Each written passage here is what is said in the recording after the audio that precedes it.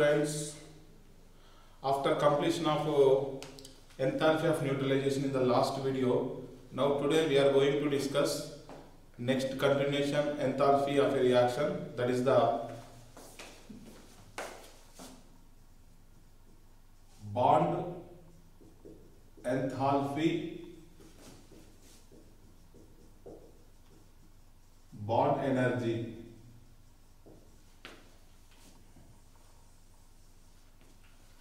First one is the enthalpy of formation.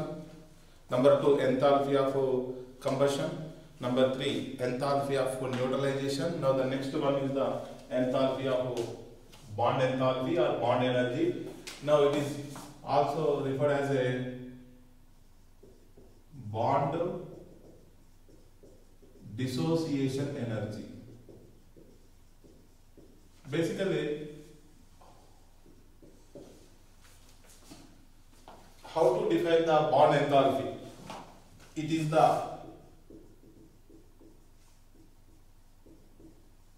amount of heat energy required to break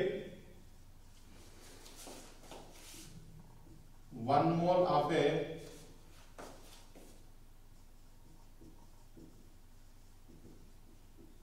covalent bond of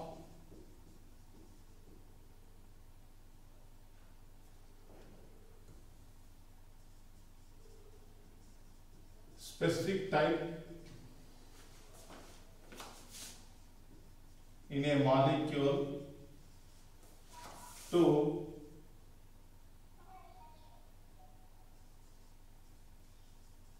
gaseous species. Now, the bond energy, here we can define bond breaking or bond forming. Now, in this definition, we are breaking the one mole of a covalent bond of a particular type in a molecule to give a gaseous species. It is also defined as it is the amount of heat energy released when one mole of a covalent bond is formed from gaseous species. The first definition bond breaking and the second definition bond formation. Generally, during the chemical reaction, the old bonds are breaking and new bonds are forming. Bond breaking is a endothermic process and bond formation is a exothermic process. Now the definition of bond enthalpy or bond dissociation energy, whether the amount of heat energy required to break the one mole of a particular covalent bond or whether the uh, the amount of heat energy released when one mole of a particular covalent bond is formed from the gaseous species. Now, in case of diatomic species, let's suppose hydrogen, oxygen, nitrogen, chlorine, hydrogen fluoride, chloride, bromide and iodide. Now, let's suppose hydrogen is there. When it is converted into gaseous species, the amount of heat energy required 436 kilojoule per mole of hydrogen. This is an endothermic process. Now, 1 mole Cl2 converted into gaseous species the amount of heat energy required 242 kilojoule per mole. Now, 1 mole of HCl converted into hydrogen and chlorine in gaseous state 427. 1 mole of O2 converted into gaseous species. Delta H is equal to 428. 1 mole of N2 converted into gaseous atom 946 kilojoule per mole.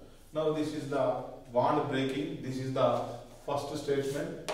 Now suppose if I want to convert the 1 mole uh, to form the 1 mole of a covalent bond from its gaseous atoms, if you rewrite the equation in the reverse direction, the delta sign will be negative, so you will get the exothermic, that is the heat energy releases. Now here, in case of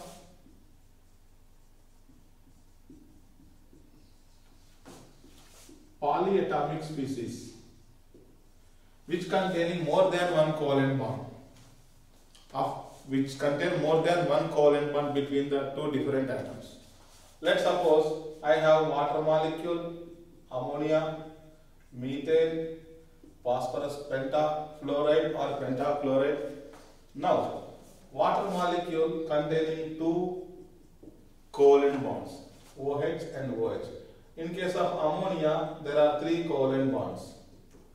Let's suppose methane is a tetrahedral which containing four covalent bonds. For such purpose, we use one word average. We use one word average that is average bond energy or bond enthalpy is equal to total bond enthalpy per mole divided by number of covalent bonds. Number of covalent bond. Let's suppose I have methane. Let's suppose I have methane. How many covalent bonds are there? Four. Let's suppose one covalent bond is breaking the delta H, let's suppose delta H1.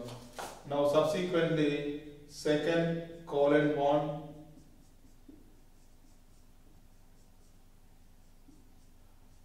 and third covalent bond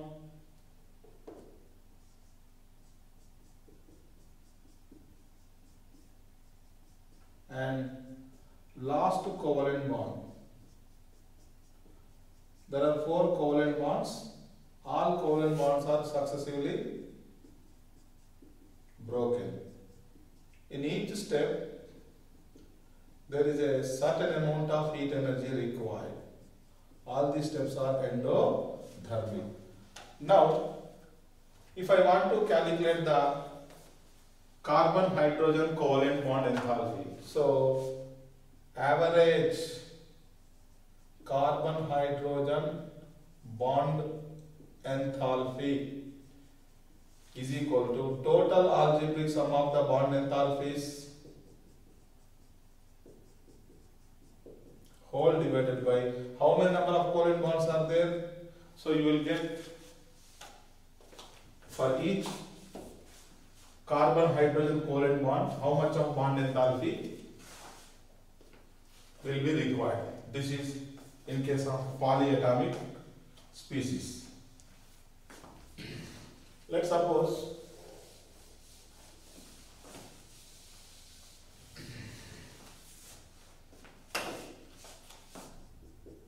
I have methane. I converted it into completely gaseous state. So the total amount of enthalpy required 1660 kilojoule per mole. Let's suppose this is experimental data. Now I need what is the average bond energy of carbon hydrogen. Now what is the total bond dissociation enthalpy of methane molecule that is 1660 kilojoule. How many covalent bonds are there in methane? 4. So what is the average bond energy? Average bond energy of CH bond is equal to total delta H value given divided by total number of covalent bonds. So 1660 by 4, so 415 kilojoule per mole of CH bond, per mole of the CH bond. Now, suppose in the numerical bond energy data given to you, then how to calculate the enthalpy of reaction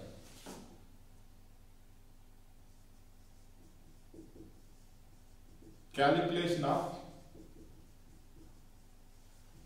enthalpy of a reaction from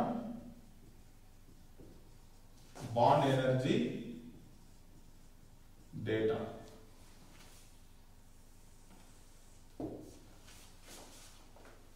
Bond energy data when given enthalpy of a reaction in the standard condition algebraic sum of the bond enthalpy of reactants minus algebraic sum of the bond enthalpy of the products.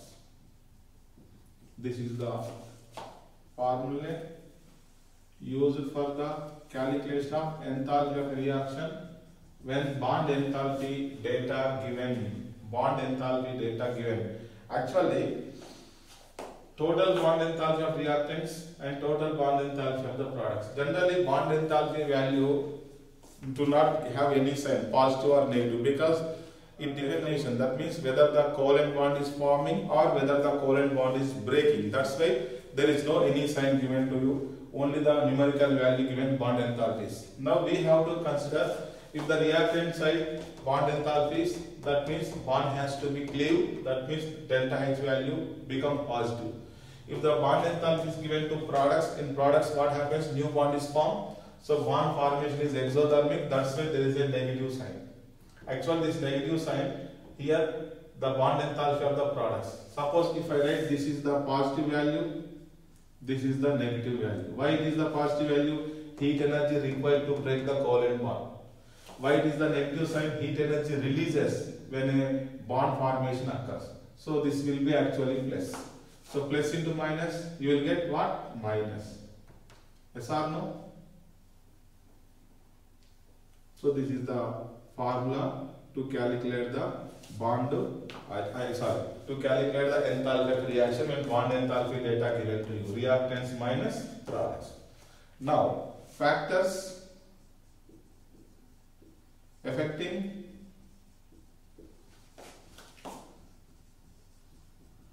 bond energy.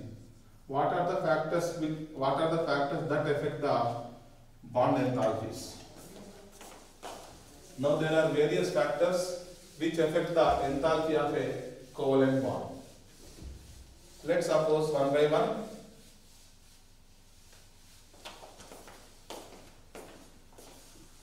Size of atom. Size of atom. As the size of atom decreases, the distance between the centers also decreases. So the strength of the covalent bond increases, thereby more amount of heat energy required to break that particular covalent bond. In the sense, bond energy inversely proportional to what? Size of atom.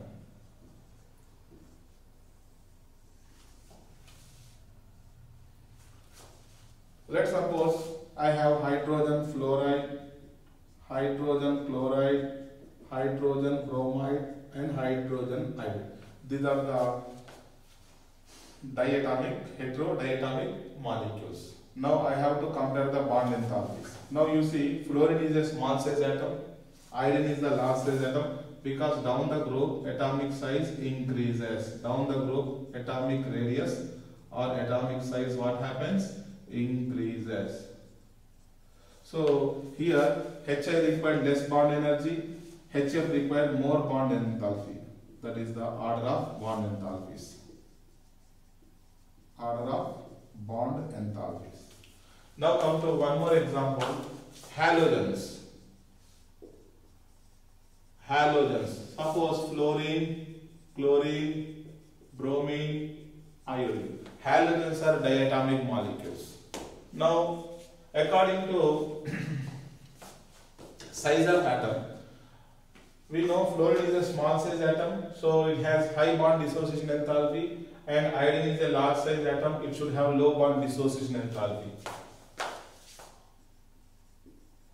Order of bond enthalpies Cl2 greater than Br2 greater than F2 greater than I2. This is a very very important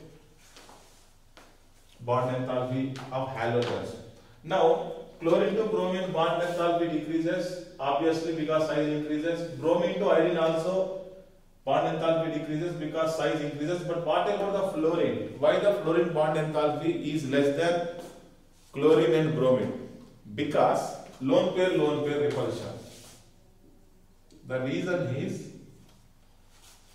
you see fluorine is a small size atom.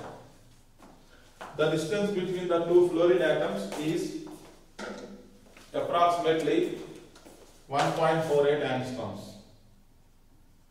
Now, we may expect that uh, the distance between the centers is very less, so there will be a very strong bond between the two FF atoms. But obviously what happens, here there is a non-bonding electron on each fluorine atom.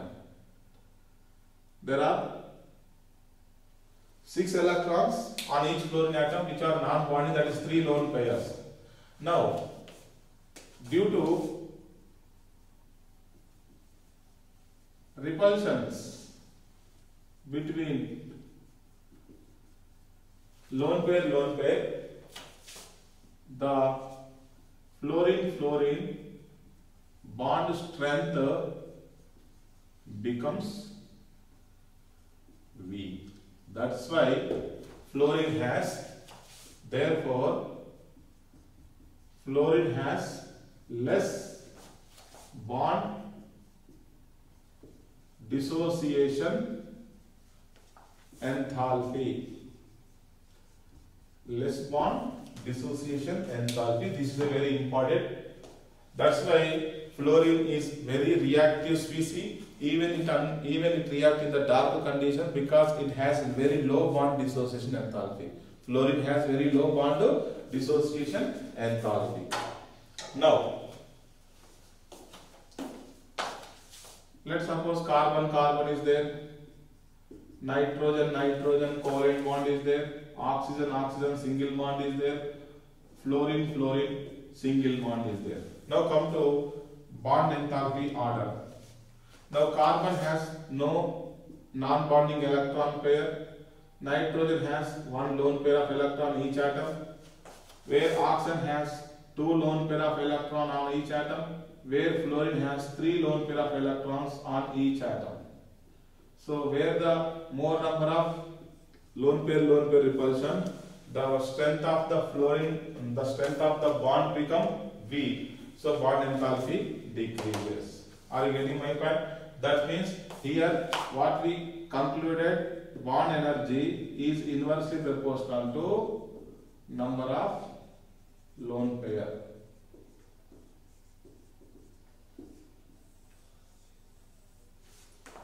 Now the second factor is electro electronegativity. Now here bond enthalpy directly proportional to bond polarity. Bond polarity which is directly related with change in electronegativity that is called electronegativity difference.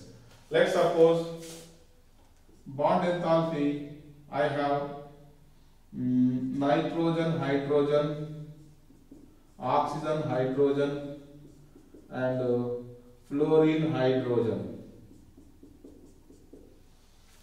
Now I have to compare the bond enthalpies of NH, OH and FH. Do you know fluorine is the most electronegative element in the periodic table? Here next oxygen. So electronegativity difference increases in this order. That is the same order of the bond dissociation enthalpy. And also you take this example also. Here the electronegativity difference is very high. So bond is highly polar. That's why this has more bond enthalpy. This has more bond enthalpy.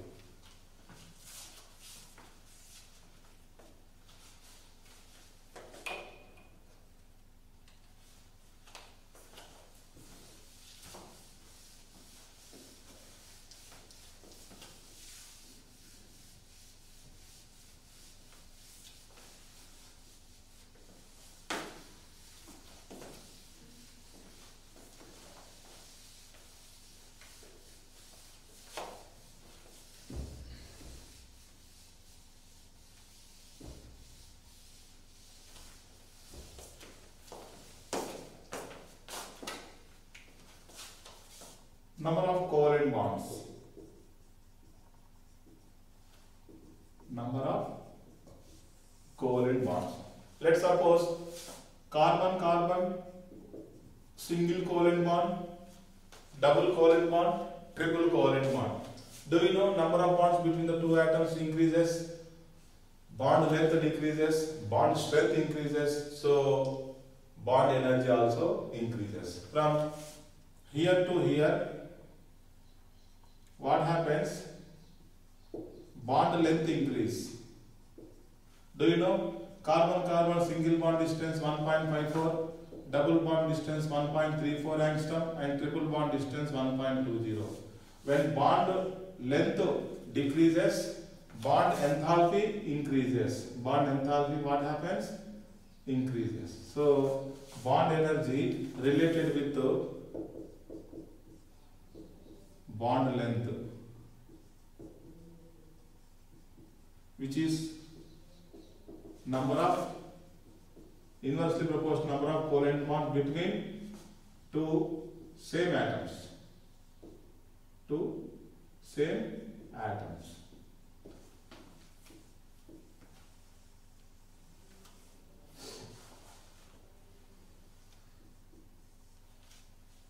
Now come to resonance. Resonance is an important phenomena which can affect the bond enthalpies now due to because of resonance the stability of a molecule increases thereby bond dissociation enthalpy also increases. Now here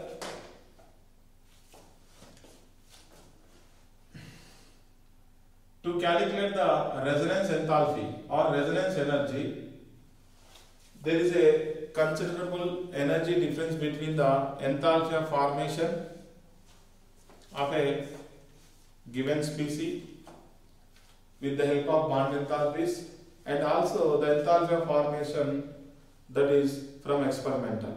The difference between these two, that is the enthalpy of formation by using the bond enthalpies data, that is let us suppose calculated bond, bond calculated enthalpy of formation and experimental data that is the uh, practical data. If the difference between these two, if there is a difference in between these two, then the difference is referred as a resonance. The difference is known as a uh, resonance. So, resonance energy. no, resonance. When a compound, suppose when a compound shows resonance. We know the topic resonance in the GOC of organic chemistry. So, when a compound shows resonance, there must be there must be energy difference. There must be energy difference in the enthalpy of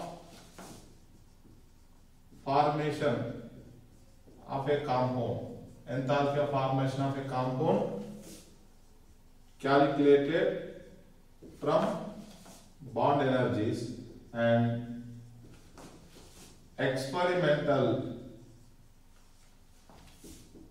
enthalpy of formation of compound. This energy difference, this energy difference is called resonance energy. Is called what? Resonance energy. Now, to calculate the resonance energy, enthalpy of formation given experiment, give, uh, experimental data and enthalpy of formation we calculated from bond energy data. So the difference between these two is referred as a bond uh, is referred as a resonance energy. Is referred as a resonance energy. Next to bond length. Already the bond length is inversely proportional to bond enthalpy. Bond length is inversely proportional to bond enthalpy. Bond length is the distance between the centers of the two covalently bonded atoms. If the distance between the centers of two covalently bonded atoms decreases, the bond strength increases, thereby bond energy also increases. So these are the total five factors which affect the bond enthalpies. Number one, size of atom. Number two, electronegativity. Number three, number of covalent bonds between the two identical atoms. Number four, resonance. And number five, bond length. Yes or no? Now, come to some problems based on the bond enthalpies. Now, bond enthalpy of HCl question. Bond enthalpies of H2Cl2 given to you 430 242 kilojoule per mole and enthalpy of formation of HCl is also given to you. Now here, first of all, write the formation of 1 mole of HCl equation that is half H2 half Cl2 gives HCl. Now here bond enthalpies given in given data enthalpy of reaction algebraic sum of the bond enthalpy of reactants minus algebraic sum of the bond enthalpy of the products. This is a very important formula. This formula is applicable when in the given question bond enthalpy data mentioned.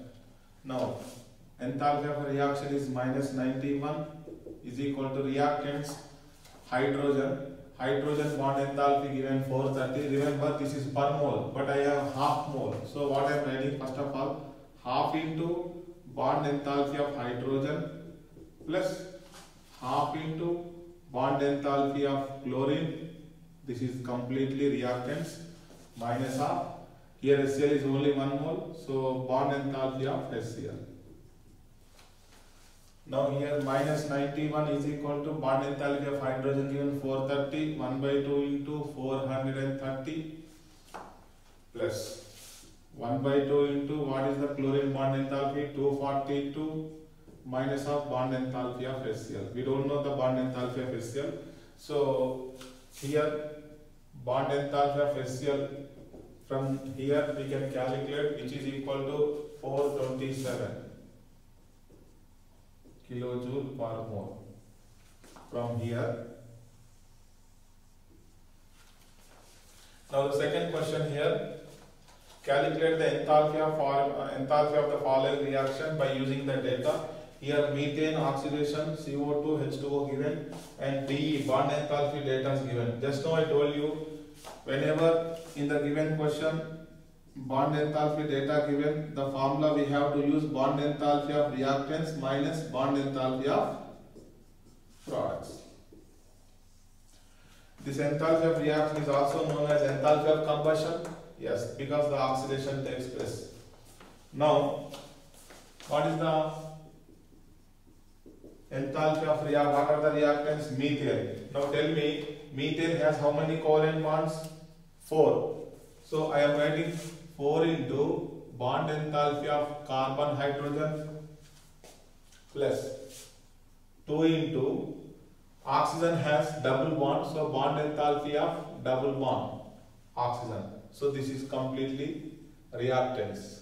Now completely uh, next to product CO2 CO2 is a linear molecule having carbon oxygen double bond. How many? Two 2 into bond enthalpy of carbon oxygen double bond plus.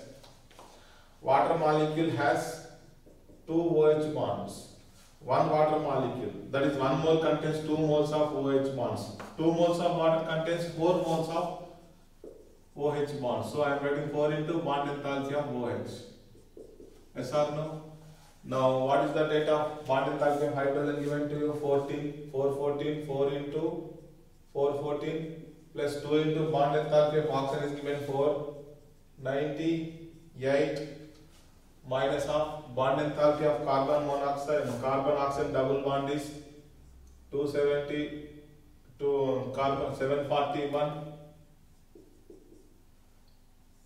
plus oxygen hydrogen single bond 464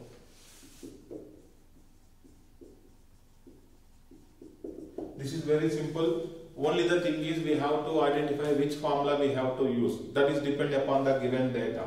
That is depending upon the data given to you. And one more problem I am giving to you for homework. So here ethylene is given, hydrogenation, addition of hydrogen, we know reduction to give ethane. The bond enthalpies are given to you. In ethylene, there is a one carbon carbon double bond and four carbon hydrogen single bond. Hydrogen hydrogen single bond. Come to ethane. Ethane has one carbon carbon single bond and six carbon hydrogen single bonds. So from this data uh, you can solve the numerical okay? Next. So this is a very important problem. Calculate the resonance energy. Resonance energy of nitrous oxide from the given data enthalpy of formation of nitrous oxide given to you 82 kilojoule per mole and bond enthalpy is given to you triple bond enthalpy 946 kilojoule double bond nitrogen 418 double bond oxygen 498 nitrogen oxygen double bond 607 kilojoule per mole first of all what is the enthalpy of formation equation for nitrous oxide N2 plus O2 gives N2O as per definition, one mole of a compound has to be formed from its constituent element. So this should be one mole. So N2 is already balanced. Now come to O2. I am writing half O2. Is it it? Now this is the formation enthalpy. This is experimentally given to you. Now what I am doing, what I am trying to calculate, enthalpy formation from the bond enthalpies. So that will be calculated and this will be given that is experimental. So the difference between these two is known as the resonance energy. Now, how to calculate the enthalpy of the reaction from the bond enthalpy data? Algebraic sum of the bond enthalpy of the reactants and minus of algebraic sum of the bond enthalpy of the products.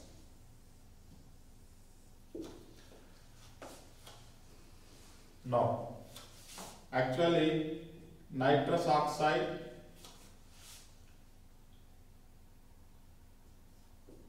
shows two canonical, two resonating forms.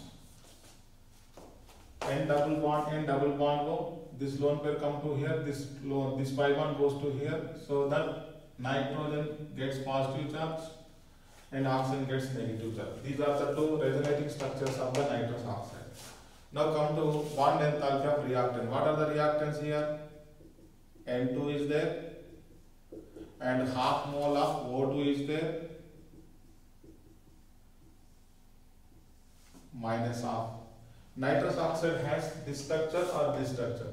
Now which structure I have to take in according to the bond enthalpies. Nitrogen oxide single bond enthalpy not given, double bond enthalpy given. So I have to consider this structure. Okay. N2O contains one nitrogen nitrogen double bond and one nitrogen oxygen double bond. Now come to bond enthalpy of a triple bond is 946 plus half into bond enthalpy of O2 498 by 2 minus half double bond enthalpy 418 and nitrogen oxygen double bond enthalpy 607. This is the enthalpy of formation calculated by using the bond enthalpy data. So this value 170 kilojoule per mole. Now what is the resonance energy formula? It is the energy difference between enthalpy of formation, experimental data minus enthalpy of formation by using given data that is calculated. The difference between these two is known as resonance energy. Experimental data given to 82 yes and this is given 170. 170, this is the 170. So the value minus 68 kilojoule mole inverse. So this is the resonance energy of nitrous oxide. Resonance energy of what? Nitrous oxide. Now, one more problem is there. Same regarding the resonance energy of a benzene using the Kekulé. So name of a scientist who explained the formula of benzene from the following data. Enthalpy of formation of benzene given to you minus 358 kilojoule per mole and bond enthalpies of carbon, hydrogen, carbon, carbon, single bond, double bond, HH. And one more important is the enthalpy of atomization. Enthalpy of atomization, it is the heat energy required to convert the one mole of a substance into gaseous species. Gaseous species, isn't it? Now here, first of all, here I am taking the formation enthalpy data. Benzene has 6 carbon atoms and 6 hydrogen atoms. So, you will get the benzene. Benzene has alternative 3 pi bonds.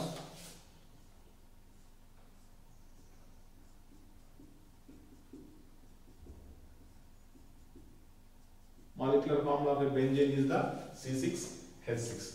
This is solid, that is the graphite. This is the liquid. Now, here. Enthalpy formation of benzene liquid now I have to calculate because experimental data given to you.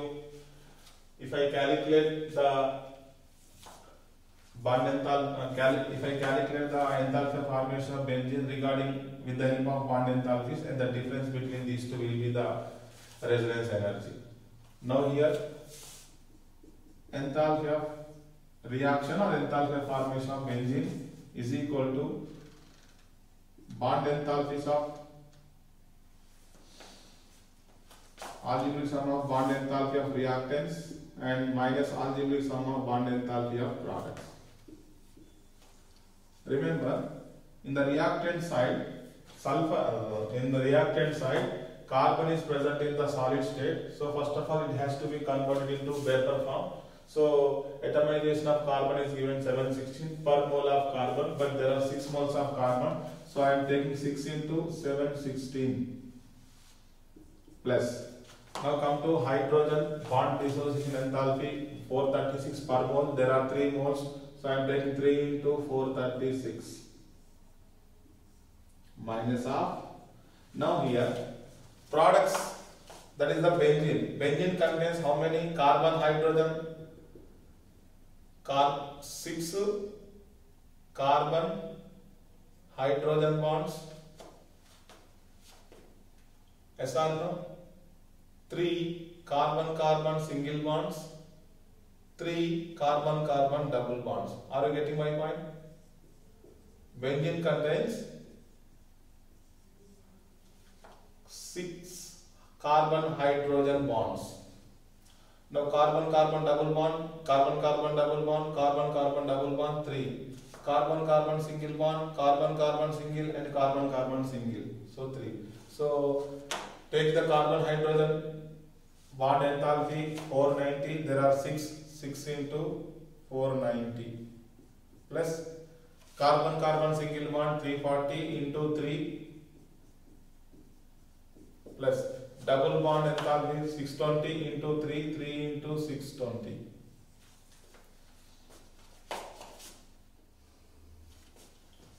that will be becomes 6 into 490 plus 3 into 340 plus 3 into 620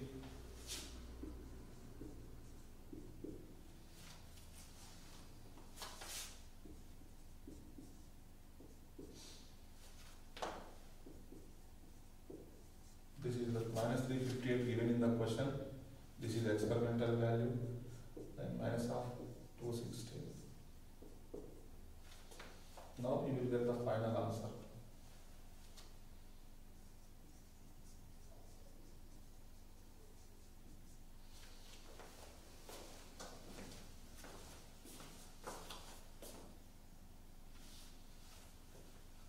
one hundred and forty two one hundred